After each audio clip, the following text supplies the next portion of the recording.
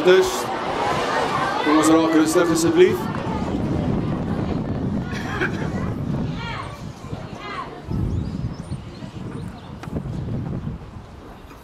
Geagte mevrou Gerber, mede-bestuur, personeel, leerders, ouers en die belangrikste vanoggend, ons leiers van 2024. Ek staan vandag hier om julle te verwelkom as die nuwe leiers van ons skool.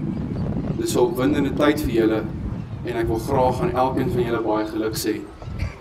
As leiers van ons skool het julle 'n belangrike verantwoordelikheid om 'n goeie voorbeeld te stel vir al die ander leerders.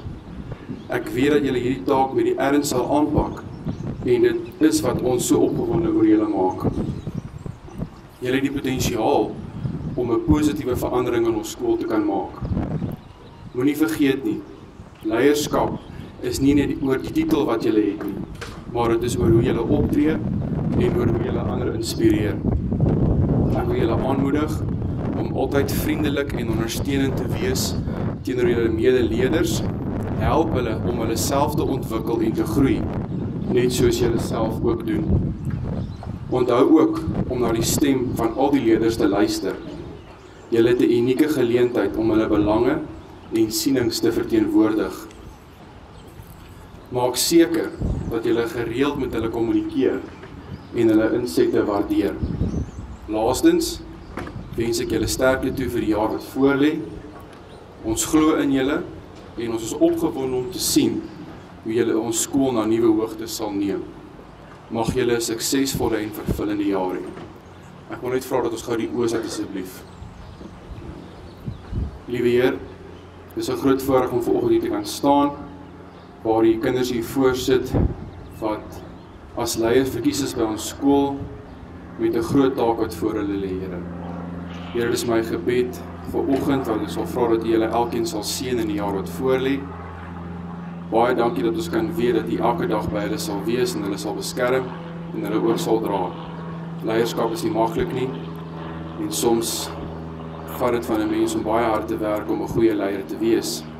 Maar U as voorbeeld en seker die beste leier wat ooit op aarde was, kan ons ooit gebruik om ons te help en ons te dra die elke dag.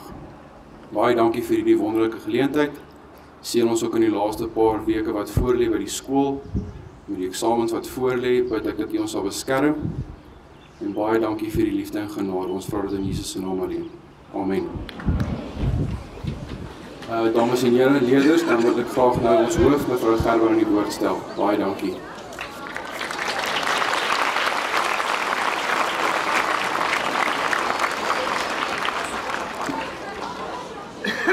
Baie dankie meneer Derie. Goeiemôre liewe ouers, leerders, personeel.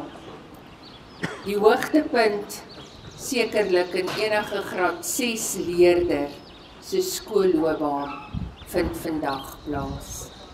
Net voordat ek weer die prefekte aan u gaan voorhou, as ook die onderhoofleiers en leiers, wil ek vir hierdie leerders wat hier sit, die leiers vir 2024 een woord leer. Diensbaarheid. Jy gaan dienende leierskap toepas. Jy's hier om te dien. 'n Leier dien deur 'n voorbeeld te stel. So weer eens baie geluk. Liewe ouers, baie geluk met die kind se pragtige prestasie.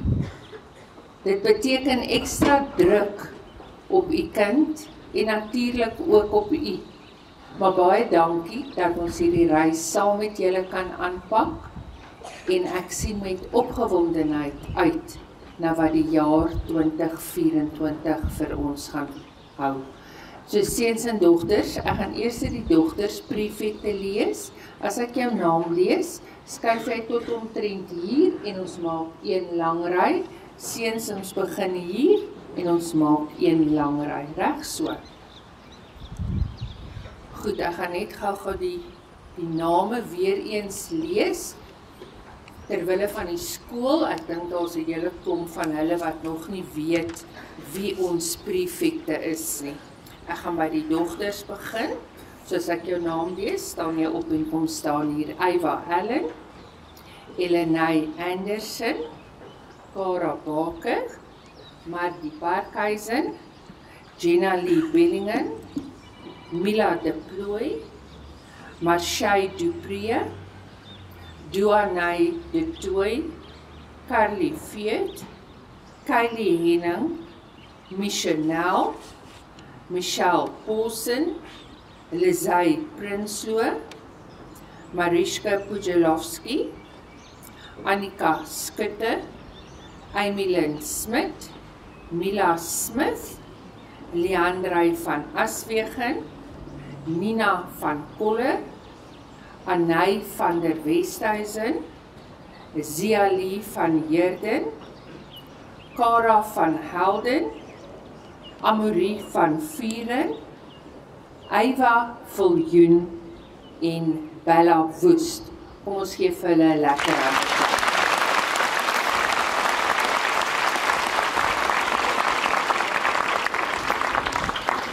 Dan ons seuns W.J. Besuidenhout, Zandray Brink, Heinrich Klaasens, Lukas de Plooi, Andries de Tooi, Ronan Herbst, Declan Lategan, David Liebenberg, MJ Moller, Ivan Mulder, Vian Ninaber, Jaden Olifie, Xavier Pinaar, Connor Rush, Rico Scholes, Eben Serfontein, Kewan Smith, Leandro Snyman, Ruben Swanepoel, Johan Uitenbogenhart, Divan van Helden, Aiden van Staden, Jaco van Staden, Luke van Wyk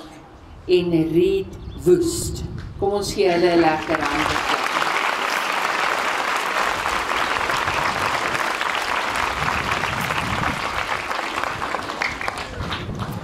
Wat nou volgende gaan gebeur, meneer De Reed sopas vir my die koevertjie gegee met die name van die onderhoofleiers. So sodra ek jou naam gelees het, gee vir my so tree vorentoe asseblief. Daarna sal meneer vir my die koevertjie van die hoofleiers gee. Daarna gaan ons ons huidige hoofleiers die geleentheid gee om 'n woordjie te te sê en daarna gaan ons vir julle julle balkies aan aan aanspeld. Goed. Kom ons kyk. Die onderhoofleiers vir 2024. Ons dogters. Amory van Vuren.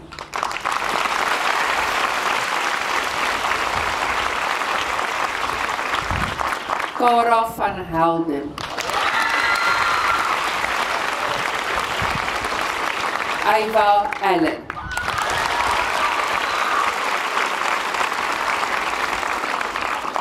Ons onderhoof seuns. Luke van Wyk. Ivan Mulder. Zandray Brink.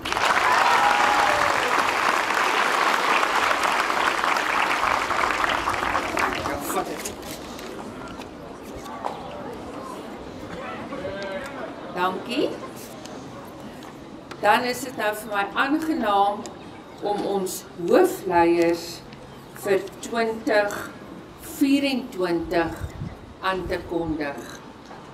Ons hoofdogter is Lizay Prinsloo.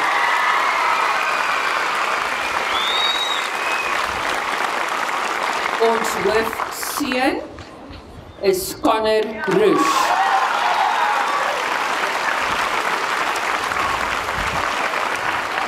Baie baie geluk aan hierdie leerders. Daar wag 'n baie groot verantwoordelikheid op julle. Julle kan nou terugtreë en dan gaan ek oorhandig um, aan die huidige hoofleiers.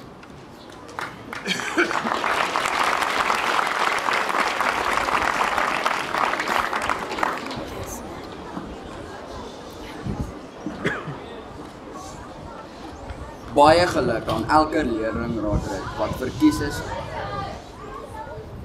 wat verkies is vir die 2024.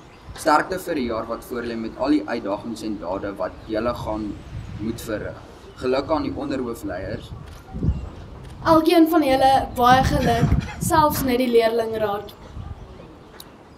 Die onderhoofleiers wat verkies is, baie geluk met julle.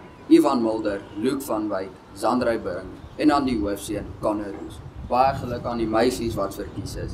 Amorie van Vuren, Eva Allen, Cara van Helden en dan die hoofmeisie van 2024 Lizay Prinsloo.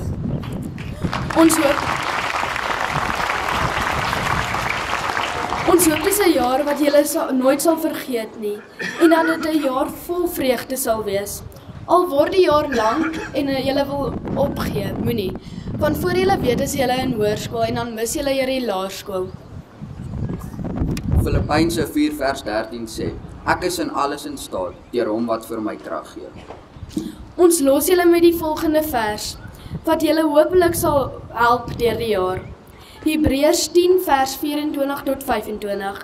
Laat ons ook na mekaar omsien, deur mekaar aan te spoor tot liefde en goeie dade. Om ons ons moenie van die samekomste van die gemeente af wegbly soos party se gewoontes is nie, maar mekaar deur eerder aanmoedig om daar daarheen te gaan en dit dis te meer na mate julle die oordeelslag sien naderkom. Geniet die jaar en baie geluk weer eens.